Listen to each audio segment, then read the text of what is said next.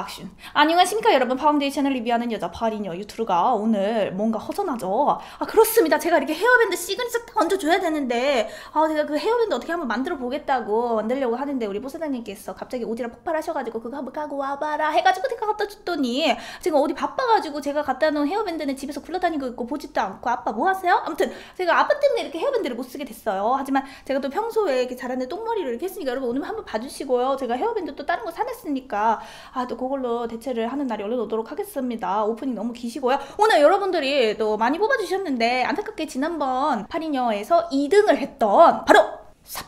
에스티로더의 퓨처리스트입니다. 어머 트로 언니 퓨처리스트 했는데 왜 퓨처리스트 또 갖고 왔어요? 왜 그러겠어요? 퓨처리스트가 리뉴얼을 했다. 에스티로더 퓨처리스트가 옛날 것보다 과연 좋아졌는지 안 좋아졌는지 뭐 정확히 좋게 만들었겠죠. 한번 지금부터 살펴보도록 하겠습니다.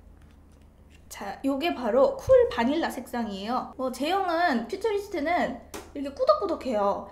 얘가 되게 투명하게 발리는 제형인데도 이렇게 꾸덕꾸덕해요. 꾸덕꾸덕한데 투명한 게 발린다라는 생각 무슨 생각하시면 되냐면은 약간 스킨케어 같은 뭔가 크림 쫀득한 뭔가 그런 게 섞인 느낌일 수 있겠다. 이렇게 딱 예리한 눈으로 보면 돼요. 백화점 가서 내가 이렇게 하는데 그런 게 있어요. 매장에서 이렇게 딱 이렇게 파운데이션을 만질 때 아, 뭘 봐야 되는 거야? 이런 식으로 내 머릿속에 방향성 없는 제형 테스트는 뭔가 나도 당황스럽고 그럴 때가 있어요. 근데 자꾸 파리너를 보다 보면 일단 쫀쫀하네. 이런 거 하나씩 느끼는 거 쫀쫀해.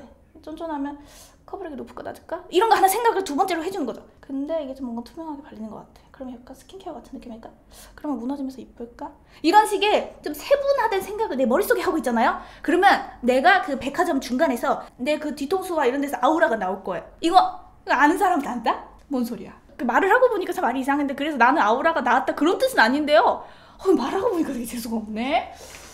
그래서 나 보여주지도 않고 지금 뭐 하는 거니? 이게 Cool Vanilla 색상이에요. 자, 조금 어둡게.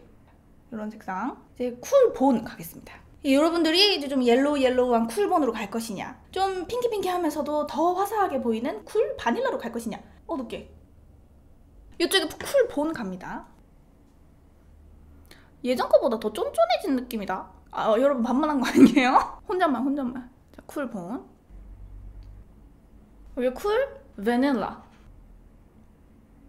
브러쉬를 사용을 해서 펼쳐줄 건데요. 어, 요즘 확실히 제가 써보니까 꾸셀 브러쉬가 되게 좋긴 좋더라고요. 꾸셀 브러쉬하고 사실은 퓨처리스트는 모공 브러쉬도 저는 그렇게 권해드리고 싶지가 않고 스펀지도 사실 그렇게 권해드리고 싶지는 않아요. 왜냐면 퓨처리스트처럼 엄청 촉촉하고 좀 스킨케어 같은 느낌이 나는 파운데이션을 퍼프에 묻혀서 사용을 하다 보면 한 2, 3일만 쓰면 퍼프가 엄청 끈적끈적하게 뭉치게 돼요. 왜냐면 스킨케어 함량이 좀 뭔가 느껴지는 그런 제형이다 보니까 퍼프가 그 촉촉함을 먹어버려요. 그러면은 그게 자기들끼리 그 스펀지 스펀지 안에 촉촉이들이 이렇게 있으면서 이게 스펀지 안에 파데가 얼굴에 뱉어줘야 되는데 그냥 이렇게 쩝쩝쩝쩝 거리면서 더 뭉치게 되거든요. 그래서 얘를 스펀지로 쓸 때는 좀 스펀지를 자주자주 갈아줘야 돼요. 그래서 이 납작 브러쉬가 가장 잘 발리고 납작 브러쉬로 발랐을 때 굉장히 쉽게 발리는 그런 제형이기도 해요. 근데 또 이런 아이를 모공 브러쉬로 발라도 좋기는 한데 워낙에 쫀쫀해서 제형이 잘 나와서 모공도 잘 먹히겠지만 좀 투명하게 발리는 제형이다 보니까 모공 브러쉬를 터치를 좀 너무 많이 하거나 좀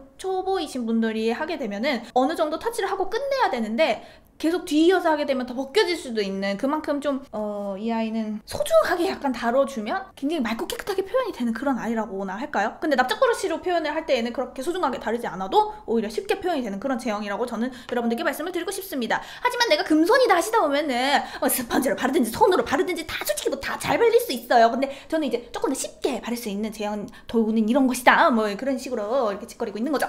그러면 이쪽에 한번 Cool Bone을 발라볼게요. 또 예민한 아이네요 하시는데 엄청 예민하기보다는 납작 브러쉬를 만나면 예민한 아이가 아닌데 다른 도구를 만나면은 예민하게 느껴질 수 있다. 이렇게. 이것도 양 묻히는 거 여러분도 궁금해도 하시니까 이렇게 저는 끌고 와서 뒤집어서 이렇게 한번 먹여주고 아 그냥 얘는 볼 것도 없어요. 그냥 쫀쫀하게 여러분 놀랄 좀 어, 어, 좋은데 아, 아 저거 좋아 보이나 이런 거 생각 안 하도록 조심하시고요. 왔죠? 어, 아, 좋은데 아 저것도 저것도 저것도 너무 이렇게 화내지 마시고요.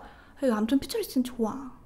보시면은 되게 커버력이 확 올라간다 보다는 뭔가 되게 투명하다라는 느낌이 더 많이 드실 거예요. 퓨처리스트를 바르면서 어 퓨처리스트는 커버력이 왜 이래요? 이러면은 이게 파데라는 거는 노선이 있는 거기 때문에 아 노선이라서 제가 그런 거 말씀드린 적이 있는데 2호선 타고 가면서 분당 정자역은 왜 안 가는 것이냐 약간 뭐 그런 느낌? 우리 력중이 와씨 겁나 이쁘다. 이건 약간 욕 나오는 정도면은 진짜 이쁜 거거든요. 퓨처리스트의 매력은 저도 이렇게 뭔가 좀 예쁘게 표현을 하고 싶다 할 때 퓨처리스트가 머릿속에 리스트에서 항상 지워지지가 않아요. 이쪽도 가볼게요. 근데 또 이 퓨처리스트를 이렇게 터치를 또 많이 하다 보면 여러분들이 문제를 느끼셨던 게 때처럼 밀려나요. 혹시 퓨처리스트 쓰시면서 느끼셨던 분들이 있을 수가 있어요. 왜 그러냐면 아무래도 얘가 너무 얇고 투명하다 보니까 이런 제품을 또 바르다 보면 소비자는 무슨 생각을 하게 되냐면 아 커버력 커버력 가려줘야 돼 가려줘야 돼 하면서 나도 모르게 브러싱을 더 하게 되거든요. 그러면은 결국엔 얘가 우리 얼굴에 가려줄 수 있는 양은 한계가 있는데 내가 계속 이렇게 손질을 했다는 거는 파데는 이미 이미 벗겨졌고 그 안에 있는 스킨케어까지 내가 계속 긁어낸 거예요. 그러니까 그거는 사실은 파운데이션이 밀린 게 아니라 파운데이션이 올라붙을 수 있는 한계를 넘어서서 내가 긁어낸 거거든요. 그래서 이 퓨처리스트를 바를 때에는 오히려 양을 좀 수시로 계속 묻혀주시면서 얹어주시고 내가 딱 발랐을 때 아 퓨처리스트 맑고 투명한 건 좋은데 커버력이 모자라잖아. 그러면은 여기를 또 계속 이렇게 하잖아요. 그러면 이 여기에서도 때가 일어날 수가 있어요. 땐 다시 한번 파데를 묻혀요 그래서 퓨처리스트는 또 거꾸로 말하면은 많은 양을 발라도 무너질 때 절대 더럽게 무너지지 않는 파운데이션이라고 생각을 하시면 돼요. 근데 또 이게 단점으로 느껴지시는 분들은 어쨌든 적은 양으로 커버력을 좋게 하기에는 부족하다는 거 아니에요? 라고 할 수 있는데 그것은 어떻게 보면 된다? 지하철 노선이 아예 다른 것이다. 그런 분들은 2호선으로 갈 것이 아니라 이제 3호선 갈아타셔야 하는 거죠. 모공 커버는 별로인가요? 하실 수도 있는데 아무래도 제형이 뭐 포슬포슬하다거나 뭐 약간의 도톰함이 있다거나 그래서 모공 커버에는 다른 것들에 비해서는 확 가려지는 건 아닐 수도 있지만 얘는 안 되는 건 아니에요. 제가 생각하기에는 저는 사실 이 정도 가려지면은 한 95% 5% 이상 만족을 하는데 좀 큰 모공을 가지고 계시는 분들은 만족을 못 할 수도 있거든요. 그런 분들한테는 한 그래도 70%까지는 커버가 된다고 보면 되지 않을까. 모공을 터치를 하실 때에는 지금 윤력에 보시는 분들은 보시겠지만 거의 뭐 브러쉬가 눌리지 않게 이, 이 구멍 구멍 털들만을 그냥 활용을 해서 모공을 터치한다라는 생각으로. 어때요? 이 정도 만족도가 어떤 분들은 요거 막 가리고 싶다고 하실 수도 있어요. 근데 요건 사람마다 다를 것 같아요. 제가 보기엔 저는 이 정도 커버력 너무 좋거든요. 근데 또 바르면서 말씀을 드리자면 퓨처리스트는 뭉치면서 무너질 걱정은 절대 안 하셔도 되는 그리고 또 스킨케어가 좀 부족하다고 해도 스킨케어까지 채워줄 수 있는 그런 진짜 뻥을 치고 싶은데 그 뻥이 아닌 진짜로 스킨케어 역할까지 해주는 게 퓨처리스트인데 그만큼 무너질 때 더럽게 무너지는 게 아니라 시간이 지나면은 요 유분이 많이 올라오는 데가 이렇게 투명하게 내 피부가 드러나게 돼요. 그런 식으로 무너지게 돼서 뭐 어떻게 생각하면은 어 나는 잘 가려져 있는 게 중요한데 하시는 분들은 퓨처리스트보다는 다른 파운데이션으로 넘어가는 게 좋으실 것 같고 대신에 나는 좀 수정을 자주자주 하는 스타일이다. 아니면 내가 좀 포슬포슬하고 나는 커버력이 굉장히 높은 쿠션을 쓰고 있다 하시면은 얘를 아침에 깔아주고 그걸 낮에 밖에서 쓰면 된다라고 생각을 하시면 되겠어요. 쿨 본 색상 이렇게 발렸고요. 반대쪽에 쿨 바닐라 색상을 한번 또 발라보도록 할게요. 여러분들 또 뭐, 뭘로 발랐으면 좋겠을까요? 베스트는 납작 브러쉬예요. 필리밀리 한번 가볼까요? 요즘 필리밀리 하도 핫해가지고 사실은 이 V컵 브러쉬와 퓨처리스트의 조합 은 완전 찰떡궁합까지는 아닌데 그래도 그렇게 나쁘지 않은 궁합이 될 것 같아서 한번 해보기는 해볼게요. 그리고 퓨처리스트를 바를 때 더 궁합이 좋은 납작 브러쉬는 조금 납작 브러쉬가 이렇게 꾸셀이나 에뛰드 하우스 이런 것처럼 얇은 그런 납작 브러쉬하고 더 잘 맞아요. 너무 똥똥한 납작 브러쉬하고는 또 그렇게 궁합이 좋지는 않아요. 근데 이거 리뉴얼 된 거 맞죠? 이게 뭔가 예전에 퓨처리스트에서 리뉴얼이 됐다고는 하지만 이게 큰 차이가 사실 느껴지진 않거든요. 솔직히 말해가지고. 아, 땀과 피지에 강해진 효과가 있나? 리뉴얼이 됐나 봐요. 근데 막 예전에 비해서 미친 듯이 좋아졌어. 이렇게까지는 모르겠어요. 근데 뭐 이거는 제가 에스티로더 쉴드는 아니고요. 예전에 퓨처리스트도 워낙에 좋아졌기 때문에 리뉴얼이 됐다고 해서 막 더 뭐 없고 이러기보다는 음, 좋네. 뭐 이런 게 더 느껴지고 제가 지금 기억에 의존을 하자면은 약간 더 쫀쫀해진 그런 느낌? 자, 그러면 또 반대쪽 가볼게요. 이 필리밀리 브러쉬로 퓨처리스트를 발라줄 때에는 이렇게 밀면은 문제가 생기기 시작해요. 여기, 여기도 보면은 지금 뭔가 약간 조짐. 여러분 이거 알지 않아요? 결자국이 나면서 스킨케어가 들뜨고 일어나려고 하는 문제. 이게 바로 투명하고 얇은 파운데이션을 바를 때 생기는 문제거든요. 특히 이런 모공 브러쉬를 사용을 하면 더 그렇게 돼요. 왜냐면은 세수각. 아. 근데 이거 살릴 수 있어요. 제가 살려볼게요. 이 브러쉬로 퓨처리스트를 굳이 바르겠다면 약간 정복하고 싶은 그런 마음이 드신다면 약간 스채들 통통 뭔가 이 이어지게 살짝살짝 터치를 하고 양이 모지라 하면 얼른 다시 제품을 묻혀서 안 발린 부분을 넓게 터치를 하면서 남은 양으로 부분 부분을 이어주면서 거의 뭐 이게 손짓을 하는 건지 마는 건지 아주 아련하게 터치를 해줘야 돼요. 그래도 지금 보시면 이렇게 결제곡들이 있을 거예요.